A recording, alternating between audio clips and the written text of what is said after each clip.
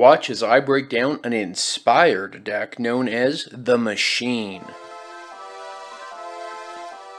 Welcome to the Oath Breakdown. If you enjoy fun, budget Oathbreaker content like this, make sure you like, share, and subscribe, and turn on notifications so you know when we have new content for you. This deck is inspired by one of my favorite movies of all times. Please try to guess in the comments below which movie you think it is. I think this one's a little easy. On the Oath Breakdown, I break down a budget Oathbreaker deck designed to introduce new players to the format and build it back up so you can see how the deck works and how it was designed.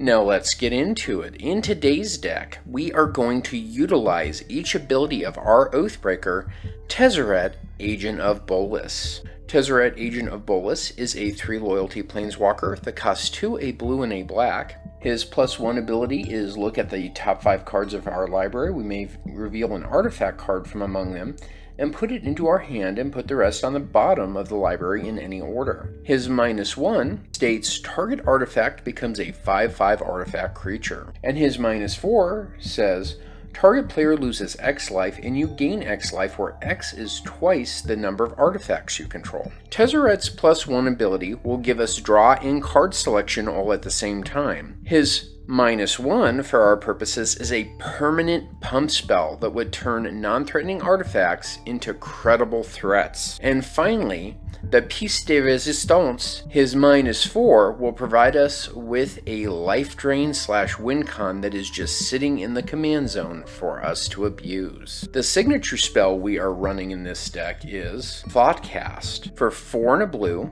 it has affinity for artifacts, which will reduce its cost by the total number of artifacts we control in colorless mana. And when we play it, we get to draw two cards. Thoughtcast is highly abusable as a draw spell in artifact themed Oathbreaker decks. Because you know the strongest thing you can do in Magic is cheat on mana cost. Most of the time, this spell will let us draw two cards for a single blue mana, since we will be flooding the board with an affinity style base and pay off that accrued commander tax for the previous castings. Now that we know what is in the command zone, let's dig into the game plan. We are going to utilize the value of Tezzeret's abilities and flood the board with cheap and free artifacts and overwhelm our opponents. How do we win? Our goal is to kill with Tezzeret, or barring that, we do have some backup plans that I will cover during the course of this deck tech. This is a very focused deck, and in my testing, it is approximately a power level of 6. Now on to the breakdown. In our first section, we'll be focused on what we can play for free or a reduced cost in freebies. Memnite is a 1-1 artifact creature that costs us 0 mana. Ornithopter is a 0-2 flying artifact creature that costs us 0 mana. Frogmite costs 4 mana as a 2-2, but he also has affinity, so he'll often be free. These are all great creatures that we can target with Tezzeret's second ability, especially Ornithopter, or any other flyer in the deck for that matter, because we go from a 0 cost 0-2 with flying to a 5-5 with flying, since Tezzeret's ability doesn't say non-creature artifacts and that little distinction goes a long way for us. Next, we have Vault Skirge. It's not quite free, but since it costs 1 and a Phyrexian mana, we can pay this for 1 colorless mana and 2 life. It has flying and lifelink and has a 1 1, and again, another great target for Tezzeret's middle ability. Myr Enforcer for 7 mana also has affinity for artifacts and is a 4-4. We want to play even more artifacts for as close to free as possible, and I'm going to show you how we're going to do that in the bargain bin.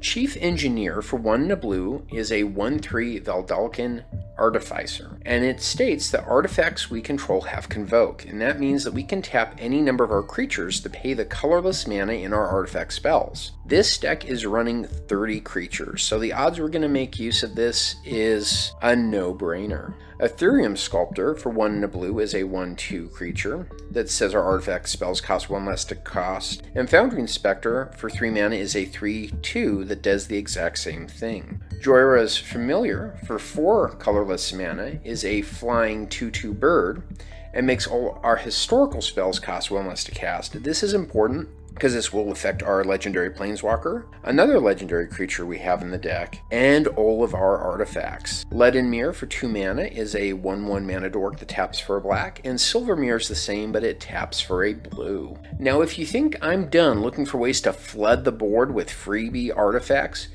you'd be wrong. Let's add some more in, more skilled than a swordsman.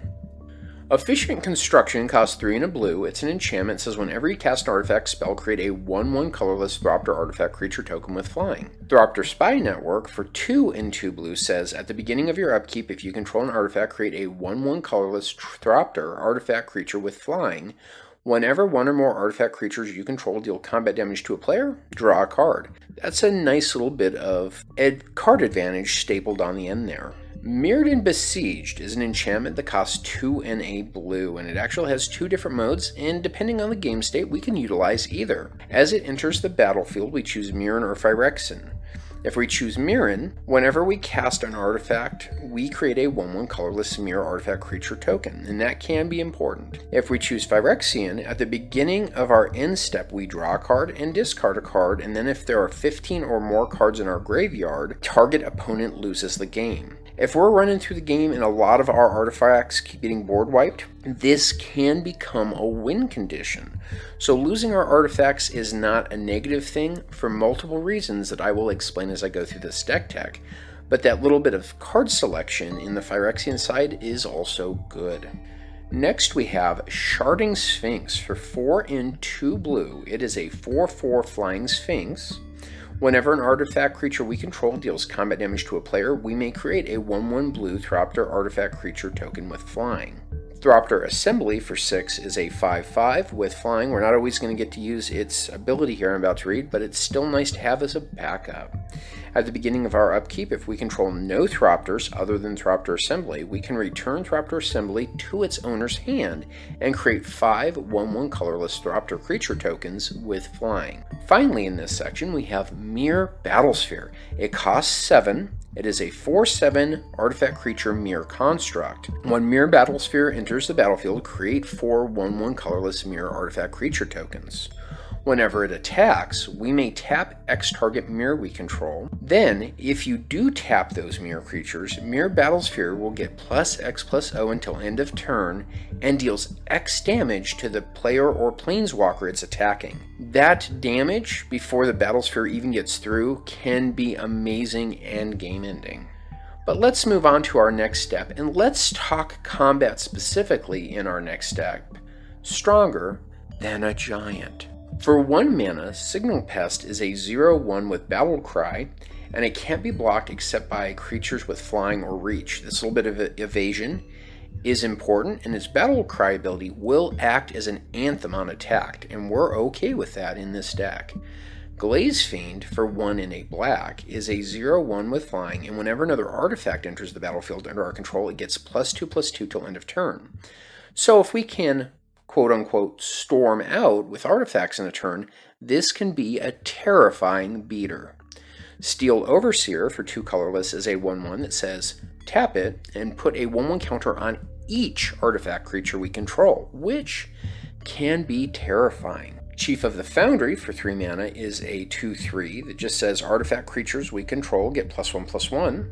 Master of Etherium for 2 and a blue is got power and toughness each equal to the number of artifacts we control, and each other artifact creature we control gets plus 1 plus 1. Master of Etherium costs 2 and a blue, as power and toughness is each equal to the number of artifacts we control, and he will give all other artifact creatures we control plus 1 plus 1. Hovermyr costs 2 colorless and is a flying vigilant 1 2 Myr. Manifold Key costs 1 colorless mana. If we pay 1 and tap it, we can untap another target artifact, or if we pay 3 and tap it, target creature can't be blocked this turn. Because it doesn't specify who owns that creature, we can use this to help get opponent's combat damage in against another opponent as a political maneuver, or we can use it to help get our own creature damage through. Cranial Plating for 2 says the equipped creature gets plus 1 plus 1 for each other artifact we control, which is great. And for 2 black mana, we can attach Cranial Plating to another target creature we control. This is an excellent pump, and attach can be done at instant speed while equipped can only be done at sorcery speed, so that's important to know because this is also a combat trick. Now, every once in a while, we're going to need to get back cards we've lost. And how do we get them back? Well, we're going to treat them like they were only mostly dead.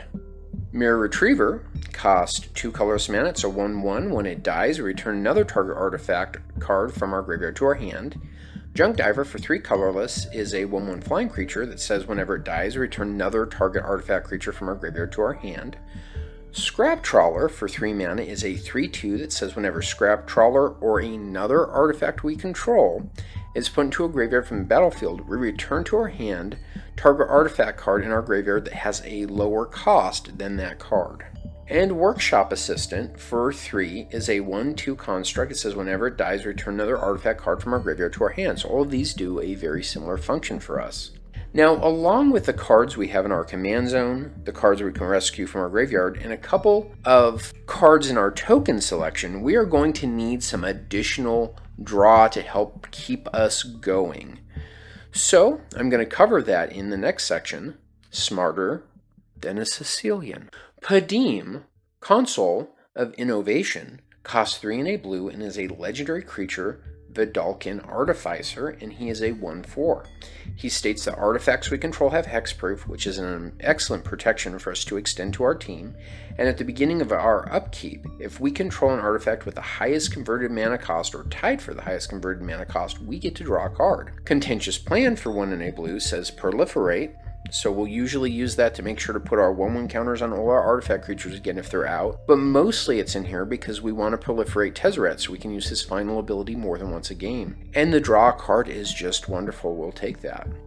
Riddlesmith for 1 in a blue is a 2-1 that offers us card selection. Whenever we cast an artifact spell, we may draw a card, but then we have to discard a card since we're probably going to end up in some one-on-one planeswalker dueling, and when we're dueling others, we do it to the pain.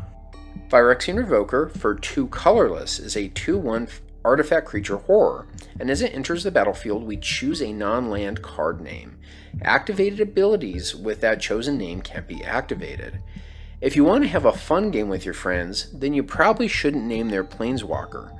But if you feel like a planeswalker is going to alter go off, this will turn that planeswalker off and make it altogether useless until they can remove the revoker from the battlefield. Spark Hunter Masticore for 3 colorless is a 3 4 Masticore. As an additional cost to cast the spell, we have to discard a card. It has protection from planeswalkers. We can pay 1 and it will do 1 damage to target planeswalker.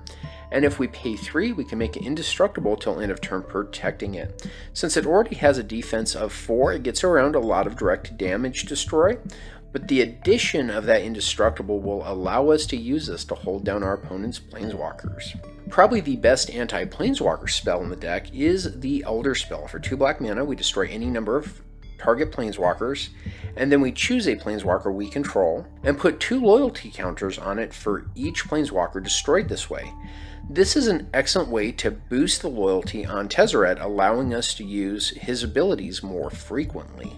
Battle at the Bridge. For X and a black, target creature gains minus X, minus X till end of turn, and we gain X life, which is great.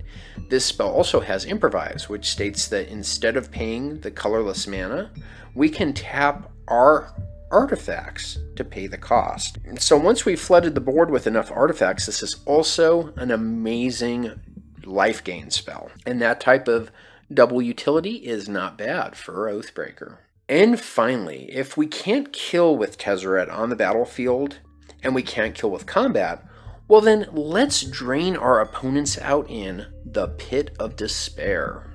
Disciple of the Vault costs 1 black, and it's a 1 1 human cleric. Whenever an artifact is put into the graveyard from play, we may have target opponent lose 1 life.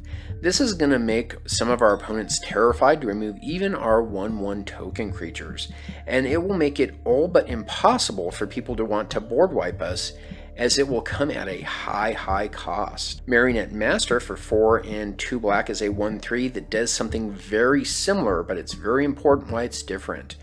She has Fabricate 3. When she enters the battlefield, you can either put 3 1 1 counters on the creature or create 3 1 1 servos most of the time I suggest putting the three 1 1 counters on it because whenever an artifact we control is put into a graveyard from the battlefield, target opponent will lose life equal to Marionette Master's power.